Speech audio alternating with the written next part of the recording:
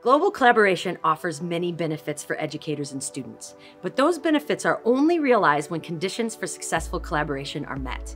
This video will walk you through the logistics that support effective global collaboration. We will help you determine if you are ready to begin now or if more preparation is needed for success. The most important thing you need to be a global collaborator is inspiration, whether it's from personal experiences, stories you've heard, or people you've met.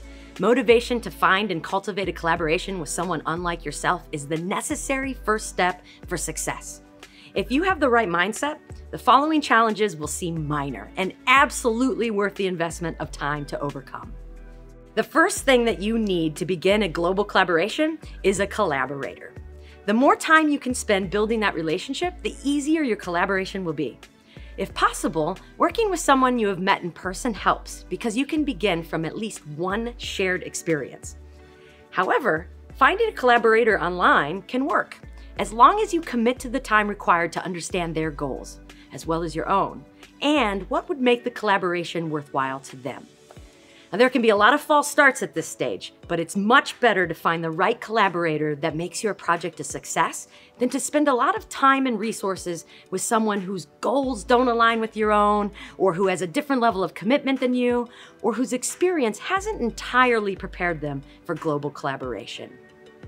We imagine that even collaborations with your closest colleagues suffer from technical issues like unstable video conferencing, corrupted files, and platforms lacking desired features.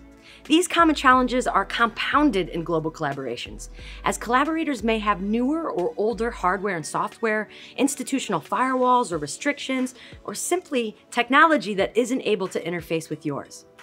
For these reasons, we recommend building collaborations on the fewest, simplest, and most widely used platforms available. You might have to learn new software and tools, but offering to do so takes some of the burden off of your potential collaborators. Asking your organization for software licenses or time to educate yourself about new tools helps set administrative expectations, which is crucial as internal support could make or break your global collaboration. Perhaps the greatest challenge of global collaboration is time. And not just the time required to build and implement a program, but also coordinating across time zones, different cultural norms, and schedules. The further apart your time zone is from your potential collaborators, the more difficult it is to schedule FaceTime between participants.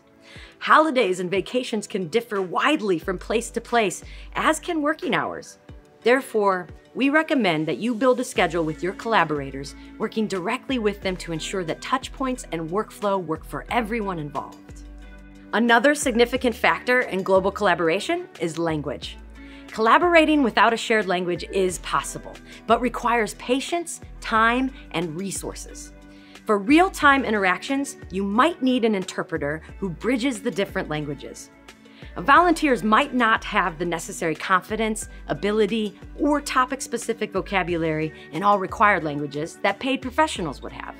Similarly, any language specific materials would require translation, and paid professionals are recommended to avoid any potential offense or misunderstanding related to formal versus informal language, word choices, or differences in dialect. To wrap up, let's quickly run through our recommendations to address some challenges of global collaboration. First, commit time to build relationships with your collaborators and understand their goals. Then, make sure you agree on the simplest possible platforms and tools to facilitate your collaboration and muster support for the work within your organization. After choosing tools, build a schedule with your collaborator that accounts for time zones and time away while specifying times to collaborate and interact face to face that work for everyone. Use the financial resources you have to pay professionals to assist with interpretation and translation. Begin your student work by making sure everyone is aware of and avoids offensive stereotyping. Finally, assess the complexity of the work you are considering as fully as possible account for the actual time required, and plan for something achievable with contingencies for something amazing.